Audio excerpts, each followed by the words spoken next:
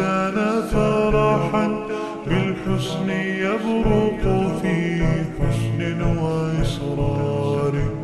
كل القلوب تناهت في السنة فرحا بالحسن يبرق